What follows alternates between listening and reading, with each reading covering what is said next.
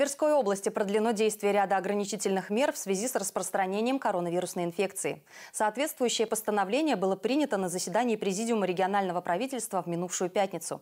Документ, в частности, оставляет в силе ограничения на работу объектов гостиничной, образовательной, медицинской и других сфер.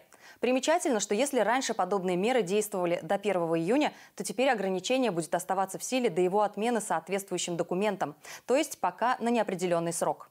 Между тем, представители сфер туризма, общественного питания и других отраслей в связи с пандемией, не имеющих возможности полноценно функционировать, всерьез обеспокоены происходящим.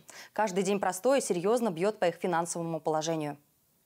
В Тверской области продлили действие ограничительных мер, связанных с работой гостиниц, отелей, объектов образовательной сферы и ряд других. Принятое на минувшей неделе постановление областного правительства оставило в силе ограничения на бронирование мест, прием размещения граждан в пансионатах, домах отдыха и гостиницах, санаториях, включая санитарно-оздоровительные детские лагеря. Исключение действует лишь для лиц, находящихся в служебных командировках. Словом, по мнению региональной власти, полностью снимать ограничительные меры на территории Верхневолжья пока рано.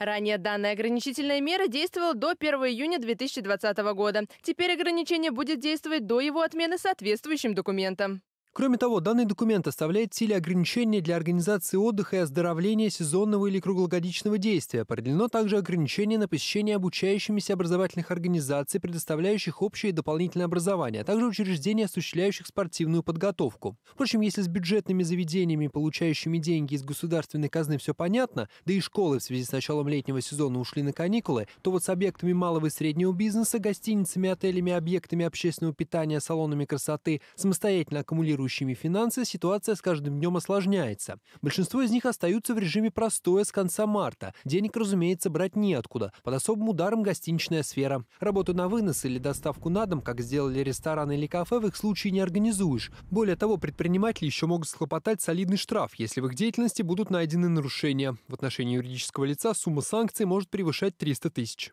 Жесткая статья, но мы надеемся, что в период моратория на проверки период, э, которым необходимо ослабить административную нагрузку, э, данные положения не будут использоваться ни в недобросовестной конкурентной борьбе, ни для того, чтобы э, каким-то образом повлиять на экономическую активность.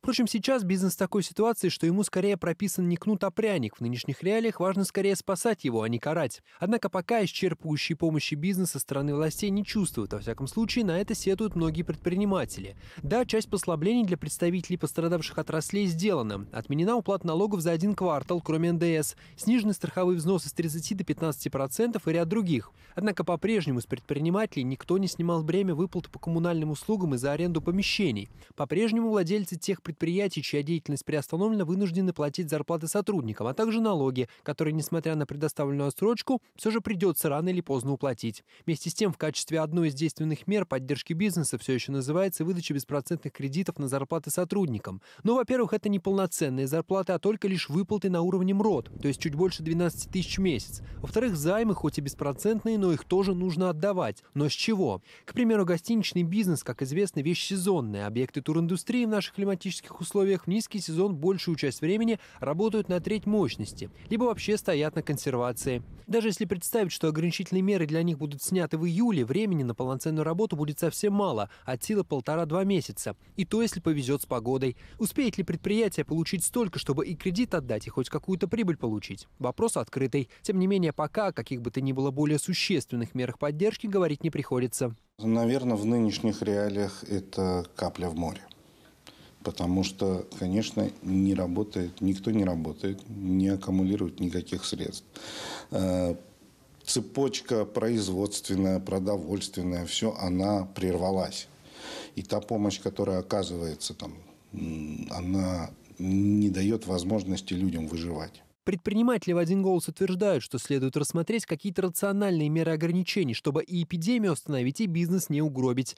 Разрешили ведь людям ходить в кино, соблюдая социальную дистанцию. Почему, к примеру, нельзя осуществить подобное в гостиничной сфере или на объектах общепита, скажем, в ресторанах и кафе? По мнению президента Тверской торгово-промышленной палаты Владислава Шорикова, главное, что сейчас стоит сделать, это наладить диалог между бизнесом и властью, чтобы они, наконец, услышали друг друга. Наверное, слабым местом является отсутствие должного общения и непосредственной такой онлайн, что ли, корректировки действий, потому что все-таки этот процесс непростой, и охватить все одним постановлением или одним решением невозможно. Предприниматели надеются, что ограничительные меры будут скорректированы и станут более избирательными и рациональными, иначе к концу эпидемии мы рискуем потерять большую часть субъектов малого и среднего бизнеса, что негативно отразится на экономике в целом.